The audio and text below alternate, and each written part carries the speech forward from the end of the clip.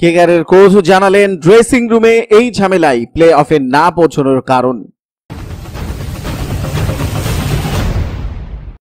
Kolkata night রাইডার্সের হয়ে এই আইপিএল মৌসুমে ভালো কাটেনি।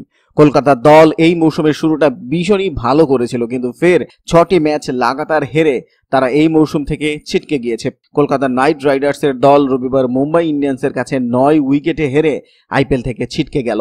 মুম্বাই ইন্ডিয়ান্সের কাছে পাওয়ার হারের পর কলকাতা নাইট রাইডার্সের সহায়ক কোচ অস্ট্রেলিয়ার সাইমন ক্যাটিজ বলেন যে, আমরা গত কিছু ম্যাচ হারার পর সামান্য খেলায় ভীষণই স্পষ্ট ছিলাম। আমাদের একটা দল হিসেবে খেলার কথা ছিল। আইপিএলে সবচেয়ে গুরুত্বপূর্ণ হলো দল হিসেবে ছন্দ ধরে রাখা।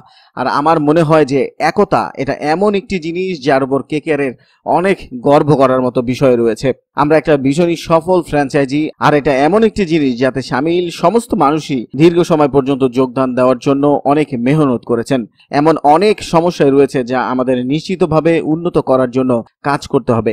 এটা এই জন্য কারণ এতে কোনো সন্দেহ নেই যে এই অভিযান চলাকালীন আমাদের দলের ছন্দ নিশ্চিতভাবে বদলে গিয়েছিল। এই আইপিএল মৌসুমের মাঝপথেই কলকাতা নাইট রাইডার্সের দল নিজেদের ছন্দ হারিয়ে ফেলেছে। এটা নিয়ে নিজের রায় দিতে গিয়ে কলকাতা সহায়ক কোচ বলেন যে, আমরা ভীষণই ভালো শুরু করেছিলাম, কিন্তু টুর্নামেন্টের মাঝপথে আমরা খারাপভাবে হারতে থাকি। আজকের হার স্পষ্টভাবে নিরাশাজনক, কিন্তু ওখানে মুম্বাইয়ের বিরুদ্ধে জয় হাসিল করা একটা কঠিন প্রশ্ন ছিল। আমাদের কাছে স্পষ্টভাবে এখানে দুর্দান্ত রেকর্ড নেই।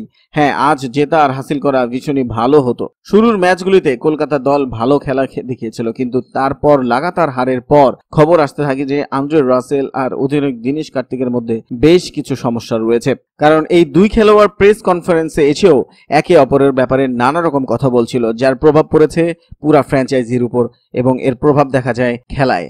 তো বন্ধুরা, আপনার কি মনে হয়, কে কে আর আসলে কেন আইপিএল প্লে অফে যেতে পারল না? আপনার মতামত আমাদেরকে কমেন্টস করে জানান, ভিডিওটি ভালো লাগলে লাইক দিন, বন্ধুদের সাথে শেয়ার করে আমাদের সাথেই থাকুন, ধন্যবাদ।